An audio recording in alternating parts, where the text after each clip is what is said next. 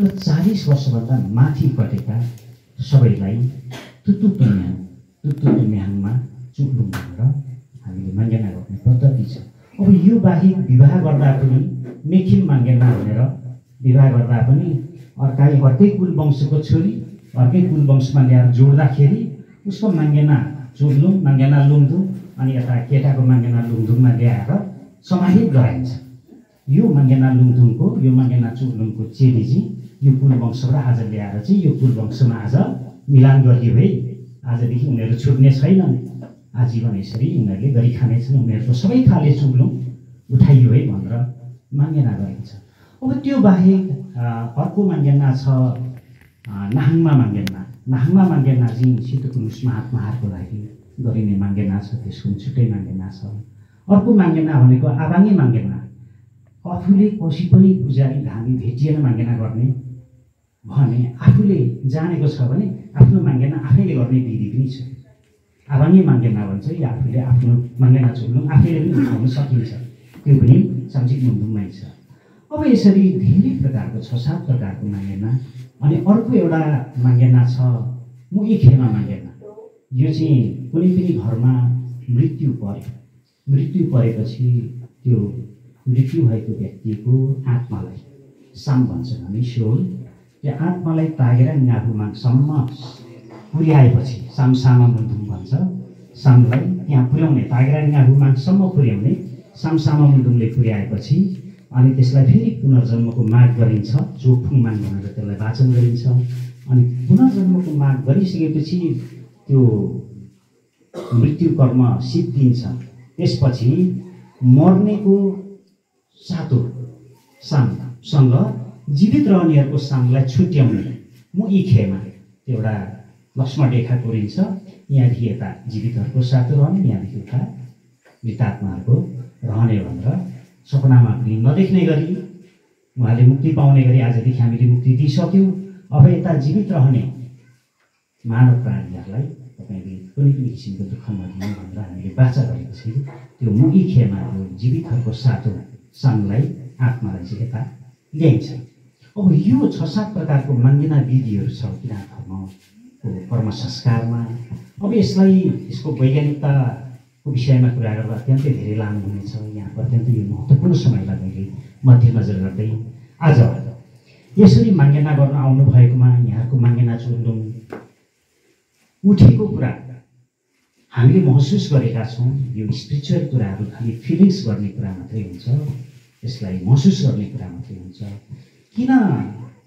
यसो म भन्दैछु भने युग पुरुष सिद्ध पुरुषहरू भनेको एउटा युगको आयु सिद्ध्याएर अर्को युगको सुरुवात गर्ने क्षमता दिएर आउने व्यक्तित्वहरू सिद्ध आत्मा महात्मा युग पुरुषहरूले एउटा युगको आयु सिद्ध्याएर अर्को युगको सुरुवात गर्ने उहाँहरूसँग त्यो पद्धति छ भने हामी मानव प्राणीको पनि हामी मानव प्राणीको पनि आयु वरदान गाँस्ने र माङ्गेना उठाइदिने उहाँहरूले त्यो अधिकार लिएर आउनुभएको हुन्छ। त्यसैले गर्दा हामी सिद्ध पुरुष महात्मा युग पुरुष किराँत धर्मगुरु हिमक्सीमा गुरुले सिंहज्यूको मुखार बिन्दबाट आज यहाँहरूको मान्यता उठाइबक्सिएको छ यहाँहरूको मान्यता उठेको छ। यहाँहरूले प्राप्त गर्नुपर्ने सिद्धि शक्तिहरू प्राप्त गर्नु नै हुनेछ भन्ने हामीले विश्वास लिएका छौँ। यो धर्म भनेको विश्वासले चलेको हुँदा हामीले विश्वास गऱ्यौँ यसो भन्दै आज अत्यन्तै खुसीको कुरा हामीले यो पावन भूमिमा किराँत धर्मगुरुज्यूको चरण पाउमा हजुरहरूले यसरी आसन्न निर्वाचनलाई लक्षित गर्दै यहाँहरूले गुरुदेवबाट पाउनुपर्ने आशीर्वाद लिने एउटा परम्पराको विकास सम्माननीय सभाध्यक्ष सुभाष चन्द्र निपाङज्यूले लामो अगाडि लामो समयदेखि यो परम्परालाई सुरुवात गर्नुभएको छ। हरेक समयमा गुरुदेवकोमा आएर आशीर्वाद लिने माङ्गना गर्ने गुरुदर्शन गर्ने यो पद्धतिलाई भित्र्याउने एउटा रोल मोडल पर्सनको रूपमा हामीले यहाँलाई हामी स्वीकार्दछौँ चिन्दछौँ। र यहाँभन्दा अगाडि गिरिजाप्रसाद कोइराला त्यसरी नै आउनुहुन्थ्यो। र बेनुराज पसेङज्यू पनि यसरी नै आउनुहुन्थ्यो अब यसरी आउने निरन्तरतालाई क्रम भङ्ग नहोस् भन्ने हाम्रो निवेदन छ। यही क्रमलाई क्रम क्रमागत ढङ्गले हाम्रो मान्य कृषि मन्त्री राम राणाज्यूले पनि आज यसरी माङ्गेना गर्नुभएको छ। हाम्रो गणेश बरालज्यूले पनि यसरी माङ्गेना गर्नुभएको छ। यो अत्यन्तै महत्त्वपूर्ण कर्ममा आज यहाँहरू जुट्नु भएको छ यो अत्यन्तै पवित्र कर्ममा आज जुट्नु भएको छ यो युगान्तकारी कर्ममा जुट्नु भएको छ यो विषयमा म यहाँहरूलाई हार्दिक हार्दिक आभार व्यक्त गर्दछु। आज यो दर्शन भेटको क्रमलाई मैले धेरै लामो जोडिनँ सम्माननीय सभामुखज्यूले यही इलाम जिल्लाको क्षेत्र नम्बर दुईबाट प्रतिनिधित्व गर्दै संविधान सभाको पहिलो निर्वाचनभन्दा पनि अगाडिदेखि नै प्रतिनिधित्व गर्दै आउनुभएको हाम्रो आदरणीय सम्मानित व्यक्तित्व हुनुहुन्छ। र यहाँले संविधान सभाको पहिलो र दोस्रो संविधान सभाको सभाध्यक्ष गरिरहनु हुँदाखेरि यहाँले माङ्सिबुङको लागि केही उपलब्धिमूलक कार्यहरू किराँत धर्म गुरुज्यूको र गुरु आमाज्यूहरूको गुरु योजनासँग सम्बन्धित केही कार्यहरू सम्पन्न गर्नुभएको कुरा म यहाँलाई फेरि अवगत गराउन चाहन्छु। यहाँको व्यस्तताले गर्दा कति पीडा बोध गर्दै भए पनि गुरुदेवले हामीलाई पटक पटक भनिरहनुहुन्थ्यो। जब संविधान सभाको सभाध्यक्षज्यूको पहलमा र किराँत धर्म तथा साहित्य उत्थान सङ्घको पहलमा महागुरु फाल्गुनन्द लिङ्देनज्यूलाई राष्ट्रिय विभूति घोषणा गर्ने क्रममा यहाँले अत्यन्तै महत्त्वपूर्ण भूमिका निर्वाह गरिदिनु भएको छ। र महागुरुलाई राष्ट्रिय विभूति घोषणा गराउन सफल हुनुभएको छ। यो आशीर्वाद किराँत धर्म गुरुजीबाटै प्राप्त भएको थियो यहाँलाई। र त्यही आशीर्वाद स्वरूप यहाँले त्यो कर्मलाई सम्पन्न गर्नुभएको थियो। यही आशीर्वाद किराँत धर्म तथा साहित्य सङ्घ र किराँत चोल्लो मङ्गसी मागेना सेवाको अध्यक्षज्यूहरूलाई र सम्पूर्ण किराँत धर्मावलम्बीहरूलाई आशीर्वाद गुरुदेवबाट थियो। त्यही आशीर्वाद हामीले प्राप्त गर्न सफल भयौँ। अब यो कुरालाई सम्झना गर्दाखेरि गुरुदेवबाट हामीलाई आज्ञा भएको हुन्छ गुरुवचन अनुसार गुरुदेवबाट गिरिजाप्रसाद कोइरालाज्यू पनि सम्माननीय प्रधानमन्त्री रहनुहुँदाखेरि मैले गिरिजाबाबुलाई पनि भने महागुरुलाई राष्ट्रिय विभूति बनाउनुहुन्छ।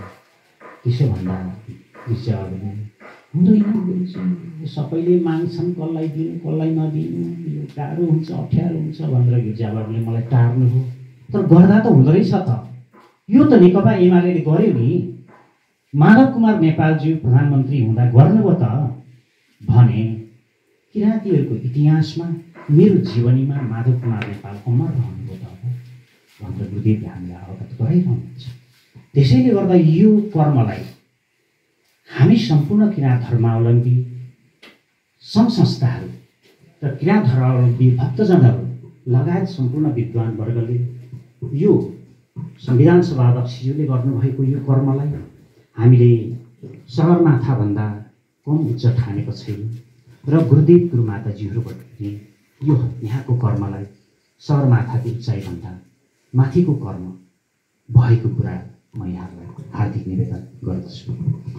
अब यसरी यो बाहेक अन्य विविध कार्यहरू विकास निर्माणको कार्यहरू पनि नभएका होइन। यहाँबाट दुर्गापुरसम्मको मार्गलाई आत्मानन्द मार्ग भनेर नामाकरण गरौँ र यसलाई रेडबुकमा राखिदिनु र यो दमक चिसोपानी सडक खण्डलाई योजनामा रेडबुक रेडबुकमा उल्लेख गरेर यस यो सडकलाई निरन्तर रूपमा सशक्त ढङ्गले अगाडि बढाउनु पनि यहाँको अहम योगदान रहेको छ। यसो हुँदाहुँदै अन्य विभिन्न कर्महरूमा पनि यहाँको योगदान रहेको कुरा म थोरै निवेदन गर्छु। दुई हजार सडसठी सालमा किराँत धर्मको दोस्रो अन्तर्राष्ट्रिय महासम्मेलन सम्पन्न गर्नु र गराउनुको लागि संविधान सभा अध्यक्ष सुभाष चन्द्र नेपालजीको अहम योगदान रहेको कुरा। उक्त समयमै इलाम जिल्लाले प्राप्त गरेको सभामुख दुई नम्बर क्षेत्रबाट र एक नम्बर क्षेत्रको मान्य झलनाथ खनालज्यू त्यही समयमा सम्माननीय प्रधानमन्त्रीको रूपमा हामीले प्राप्त गर्नु इलाम जिल्लाको सौभाग्य थियो। त्यही सौभाग्यको अवसर पारेर किराँत धर्मगुरुज्यूले किराँत धार्मिक संस्था र किराँत धार्मिक भक्तजनहरूलाई दोस्रो अन्तर्राष्ट्रिय महासम्मेलन यही समयमा सम्पन्न गर्नुपर्छ भनेर आज्ञा गर्नुभयो भनेपछि यहाँको त्यो योगदान लाई हामीले अत्यन्तै ठुलो मूल्य र मान्यतामा राखेका छौँ र किराँत धर्मको इतिहासमा यो पनि अत्यन्तै मनन योग्य रहेको र अकाट्य रहेको म यहाँलाई हार्दिक निवेदन गर्दछु। अब यति हुँदा हुँदै पनि यति हुँदा हुँदै पनि राजनीतिको विभिन्न आयामहरू आउँदो रहेछ। भर्खरै मात्रै गएको स्थानीय तहको निर्वाचनमा स्वतन्त्र उम्मेदवारहरू रुक्ने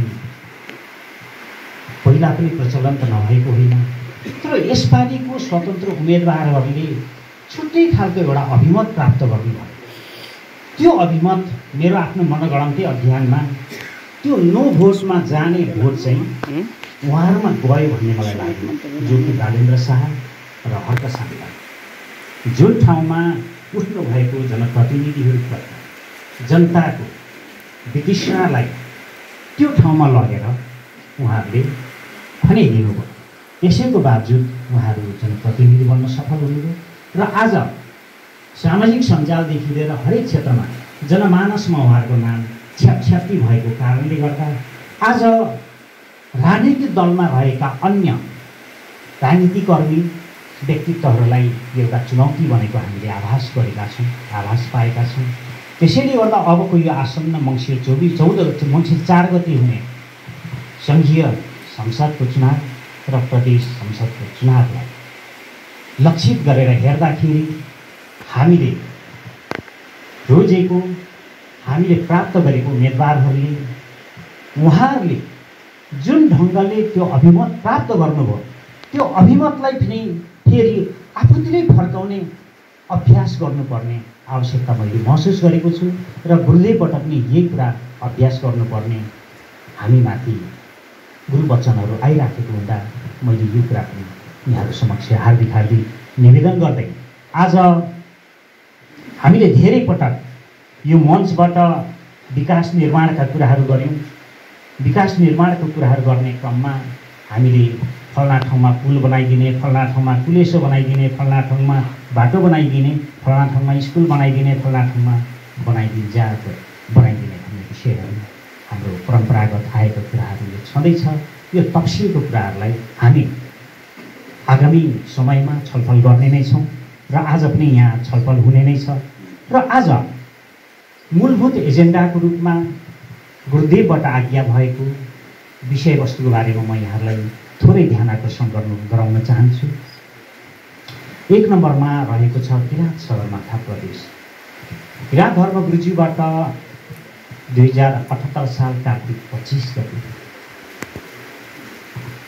मोरङको केराबारी र लेटाङ र सिंसरीको भरौलबाट एकै दिनमा तिनैवटा मञ्चबाट एक नम्बर प्रदेशको नामाकरण किराँत सगरमाथा प्रदेश हुनुपर्छ भनेर ती तिनवटा मञ्चबाट गुरुवचन भइसकेपछि हामी किराँत धर्मावलम्बीहरूले बुझ्ने आध्यात्मिक व्यक्तित्वहरूले बुझ्ने भाषा भनेको सिद्ध पुरुष महात्मा युग पुरुषहरूले बोल्नुभएको भाषा भनेको चट्टानमा कुदिएको अक्षर हो भनेर हाम्रो बुझाइ छ।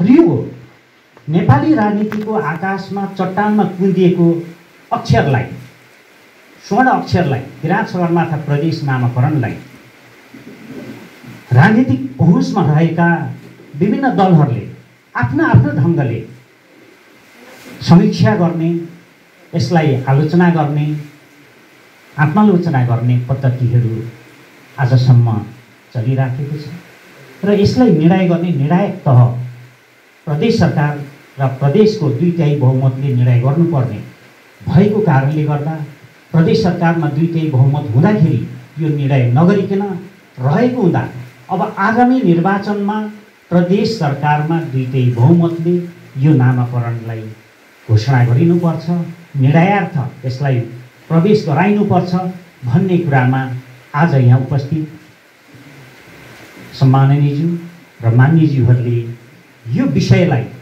अत्यन्तै बुलन्द ढङ्गले आफ्नो आफ्नो ठाउँमा आफ्नो आफ्नो क्षेत्रमा निर्वाचनको एजेन्डा बनाएर यहाँहरू अगाडि बढ्नुहुन्छ भन्ने मैले हार्दिक हार्दिक निवेदन गरेको छु। र यसको लागि गुरुदेव समक्ष यहाँहरूले अब गुरुदेवबाट आशीर्वाद प्राप्त गर्नुको लागि यहाँहरूले जुन ढङ्गले यहाँ गुरुदेवको चरण पाउमा सवारी हुनुभएको छ यहाँहरूले आफ्नो विचारहरू राख्नु नै हुनेछ भन्ने मैले निवेदन गरेको छु। त्यसरी नै अर्को विषय रहेको छ। मैले छोटो समयमा धेरै कुरा भन्ने कोसिस गर्दैछु।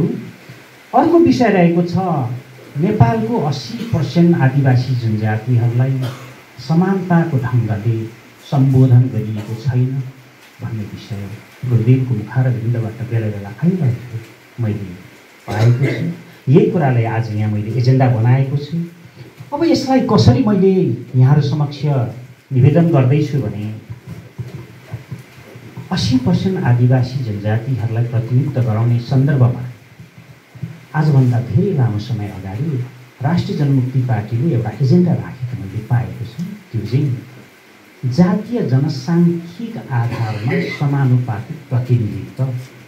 जुन जुन जातिको जति जति जनसङ्ख्या छ त्यसको आधारमा उनीहरूको प्रतिनिधित्व हरेक नीति निर्माण गर्ने तहमा हुनुपर्छ। र राज्यको तिनवटै तह तक्कामा हुनुपर्छ भन्ने एजेन्डालाई पछिल्लो समयमा दलहरूले जातीय जनसाङ्ख्यिक आधारलाई छोडेर समानुपातिक प्रतिनिधित्व भनेर अगाडि बढाउनु भएको छ। यो पनि अत्यन्तै राम्रो छ। र समानुपातिक प्रतिनिधित्वले कहाँसम्म अत्यन्तै राम्रो भूमिका निर्वाह गरेको म यहाँलाई निवेदन गर्दछु भने पहिलो संविधान सभामा हामीले देखेको मत परिणामलाई हेर्दाखेरि संविधान सभा त्यो समयको सम्माननीय प्रधानमन्त्री बाबुराम भट्टराईज्यूले संविधान सभालाई भङ्ग गर्नुभन्दा अगाडि छ सय एकमा चार सय तेइस आदिवासी जनजाति मुस्लिम दलित लगायतले अभिमत जाहेर गर्नुभएको थियो त्यही अभिमतको परिणामस्वरूप संविधान सभालाई भङ्ग गरिएको छ। यो संविधान सभामा प्राप्त भएको समानुपातिक परिणामको बर्खिलाप भएको कुरा नेपालका आदिवासी जनजातिहरूले महसुस गर्नुभएको छ र यो कुरालाई नेपालको राजनीतिमा अब यो विषयलाई पनि मैले मध्यनजर गरिदिनु हुनुको लागि मैले सम्माननीय सभाध्यक्षज्यू समक्ष हार्दिक हार्दिक निवेदन गरेँ। यो जनताहरूको चाहना जनताहरूको जिज्ञासा रहेको छ। इलाम क्षेत्र नम्बर दुईका जनताहरूको आदिवासी जनजातिहरूको यो चाहनालाई यो जिज्ञासालाई यहाँले समेट दिनुहुन्छ भन्ने मैले हार्दिक अनुरोध गरेको छु। अब अर्को विषय जो छ आइलो कन्भेन्सन वान सिक्स नाइन। अन्तर्राष्ट्रिय श्रम सङ्गठन नम्बर एक छ नौ र यसले यो महासन्धिले के गर्छ भन्ने विषयमा मैले थोरै समय दिने उहाँलाई निवेदन गर्छु पूर्व समक्ष पनि निवेदन राख्छु व्यक्ति जाहेर गर्छु। यो अत्यन्तै प्राविधिक विषय रहेको छ अहिले कन्भेन्सन वान सिक्स नाइन। यसलाई नेपालको कन्टेक्स्टमा अनुमोदन गरिनु ठिक छ कि छैन भनेर रिसर्च गर्नुपर्ने अनुसन्धान गर्ने क्रममा म आफै पनि लागेको थिएँ यो अनुसन्धान गर्ने एउटा संस्था लाहोरनिप छ। लाहोरनिप पढ्ने एउटा संस्थाले रिसर्च गर्ने क्रममा म आफै पनि लागेको थिएँ। धेरैवटा जातीय सङ्घ संस्थाहरूमा म आफै पनि गएको थिएँ। अब यसरी यो आइएलओ कन्भेन्सन वान सिक्स नाइनलाई रिसर्च गरेपछि नेपालको कन्टेक्स्टमा यो अनुमोदन गर्नु आवश्यक छ है भन्ने रिसर्च रिपोर्ट आएपछि त्यसलाई हामीले आइएलओमा पेस गऱ्यौँ। आइएलओको कन्ट्री अफिसमा हामीले पेस गरेपछि हामीले अर्को कुरा पनि के पेस गऱ्यौँ भने आइएलओ कन्ट्री अफिसले नेपालमा यो आइएलओ कन्भेन्सन वान सिक्स नाइनलाई रेटिफाई गर्ने र गराउने हो भने आदिवासी जनजाति महासङ्घसँग वर्कआउट गर्नुपर्छ भनेर हामीले आदिवासी जनजाति महासङ्घलाई जिम्मा दियौँ। र प्राविधिक रूपमा हामी लाउडीले हेर्छौँ र यसलाई उनासित उनासाठी जातिको अम्ब्रेला अर्गनाइजेसन आदिवासी जनजाति महासङ्घले यसलाई अगाडि बढाउनुपर्छ भनेपछि यो कार्यक्रम पनि पहिलो संविधान सभाकै संविधान सभाले यसलाई अनुमोदन गर्नुभएको छ। यसलाई अनुमोदनार्थ प्रस्ताव पेस गर्ने हाम्रो डाक्टर विजय सुब्बा नानीज्यू हुनुहुन्छ नानी डाक्टर विजय सुब्बाज्यू र उहाँको प्रस्तावलाई सदनमा छलफल गरेर अनुमोदन गरिएको छ र कुनै पनि अन्तर्राष्ट्रिय सन्धिहरू कुनै पनि अन्तर्राष्ट्रिय सन्धि सम्झौताहरू जुन राष्ट्र पक्ष राष्ट्रले अनुमोदन गर्छ अनुमोदन गरिसकेको त्यो सन्धि सम्झौताहरू त्यो राष्ट्रमा यसरी लागू गरिनुपर्छ। त्यो अन्तर्राष्ट्रिय कानुन हुन्छ र त्यो अन्तर्राष्ट्रिय कानुन मैले सम्मानित हाम्रो संविधान सभा अध्यक्षज्यूको अगाडि यसरी बोलिरहनु अलिक अशोभनीय हुने पनि म निवेदन गर्छु किनभने इन्द्रको अगाडि स्वर्गको बखान गर्नु जस्तै यहाँ हुँदैछ। म सम्माननीय सभाध्यक्षज्यूसँग म हार्दिक हार्दिक क्षमा प्रार्थी छु।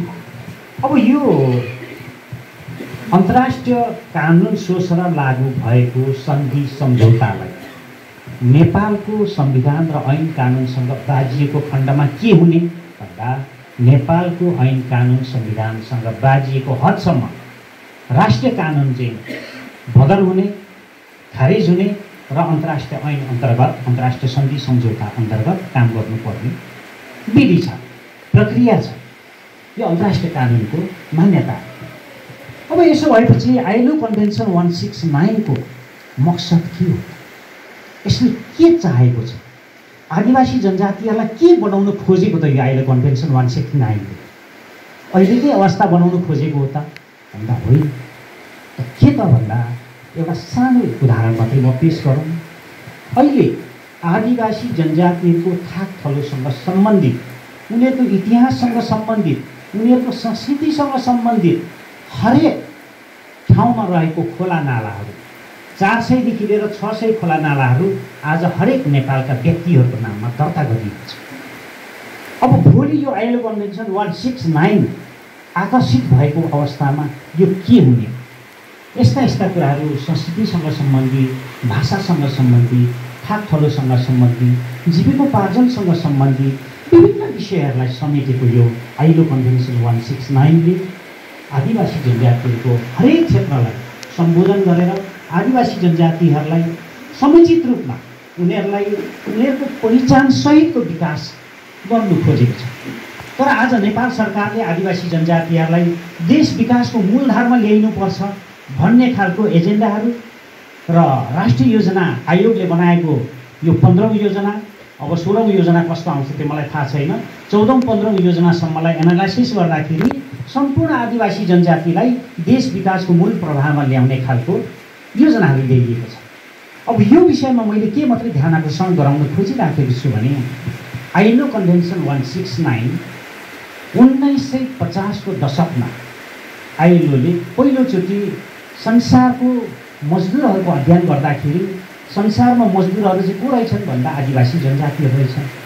त्यसैले गर्दा यिनीहरूको विकास गर्नुको लागि अब यो आदिवासी जनजाति मजदुरहरूलाई चाहिँ देश विकासको मूलधारमा ल्याइनुपर्छ।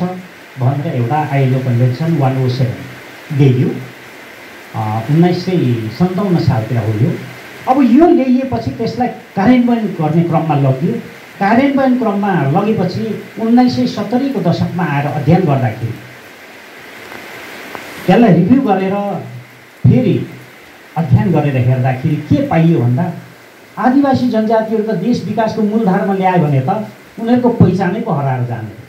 उनीहरूको भाषा हराउने रहेछ लिपि हराउने रहेछ संस्कृति हराउने रहेछ सभ्यता हराउने रहेछ सबै पहिचानको विषयहरू थाक फलोदेखि लिएर सबै कुरा हराउने भएकोले गर्दा आदिवासी जनजाति भन्ने नै को हो भन्ने चिन्हलाई गाह्रो हुने विषय भएछ।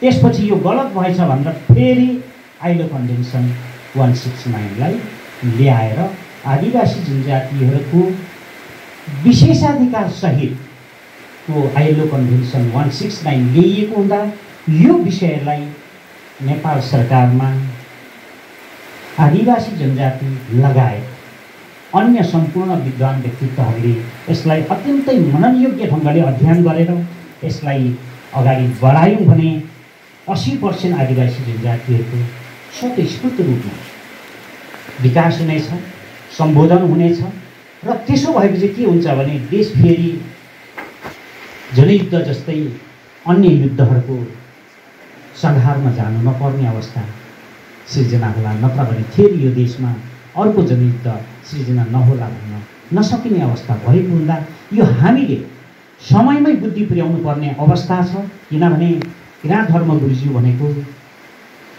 तागेर निगा भूमानको सुन्दर सृष्टिलाई संरक्षण सम्वर्धन गर्दै यो युगान्तसम्म निरन्तरता दिनको लागि जन्मावतरण भएर आउनुभएको छ। र विश्व शान्ति तथा मानव एकता र सकल मानव प्राणी लगायत चराचर सृष्टि जगतकै रक्षाको लागि यो धरतीलोकमा जन्मावतरण भएर आउनुभएको छ। त्यसैले गर्दा उहाँहरू जस्तो सिद्ध पुरुष महात्माहरू यो धरतीलोकमा जन्मावतरण हुनु भनेको हामी सम्पूर्ण मानव प्राणीको यो अहोभाग्यको विषय बनेको छ। जुन समयमा राम आउनुभयो जुन समयमा कृष्ण आउनुभयो दस हजार वर्ष अगाडि राम आउनुभयो साढे पाँच हजार वर्ष अगाडि कृष्ण आउनुभयो पच्चिस सय वर्ष अगाडि भगवान् बुद्ध आउनुभयो दुई हजार बाइस सय वर्ष अगाडि जिसस आउनुभयो।